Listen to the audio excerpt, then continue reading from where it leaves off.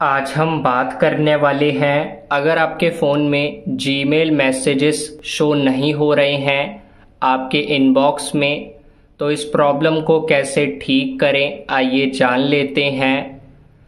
तो इस प्रॉब्लम को ठीक करने के लिए आपको तीन से चार स्टेप्स फॉलो करने हैं। तो उसके बाद आपकी प्रॉब्लम ठीक हो जाएगी। तो सबसे पहले आप अपने फ़ोन में गूगल प्ले स्टोर को ओपन करिए।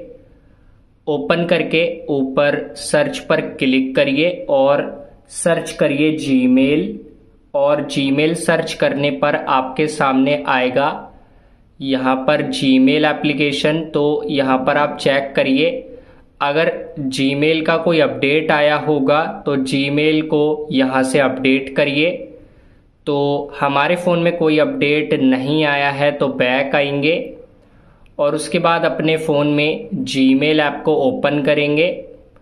ओपन करके ऊपर लेफ़्ट साइड में तीन लाइन पर क्लिक करिए और तीन लाइन पर क्लिक करके आपको ऑल इनबॉक्सेस का ऑप्शन मिलेगा। इस पर क्लिक करिए और यहाँ पर फिर से रिफ्रेश करेंगे और चेक करिए, हो सकता है आपको आपका जीमेल या फिर मैसेज शो होने लग जाएगा।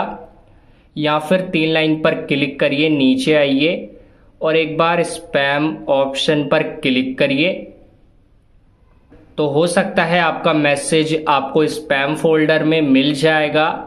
तो यहाँ पर आप आकर एक बार ज़रूर चेक करिए। अब अगर प्रॉब्लम ठीक नहीं होगी तो सेटिंग्स को ओपन करेंगे, नीचे आएँगे। नीचे आपको ऐप मैनेजर का ऑप्शन मिलेगा। तो अपने फ़ोन में ऐप मैनेजमेंट या फिर ऐप मैनेजर को ओपन करके आपके फ़ोन के सारे एप्लीकेशन आएँगे। और यहाँ पर आकर आपको नीचे स्क्रॉल करके मिलेगा जीमेल। जीमेल पर क्लिक करिए।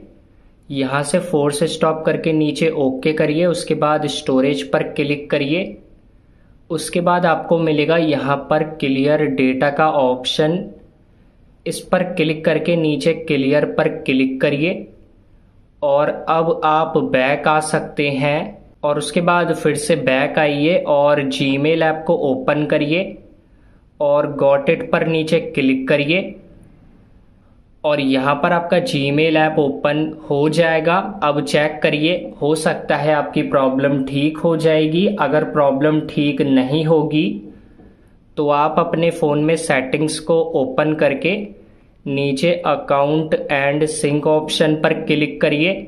उसके बाद अपने जीमेल अकाउंट को सेलेक्ट करके सिंक नाउ पर क्लिक करिए।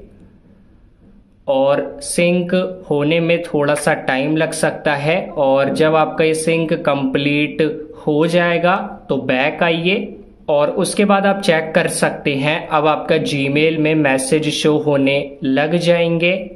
तो इस टाइप से अपनी प्रॉब्लम को ठीक करें। वीडियो पसंद आई वीडियो को लाइक और चैनल को सब्सक्राइब ज़रूर करें।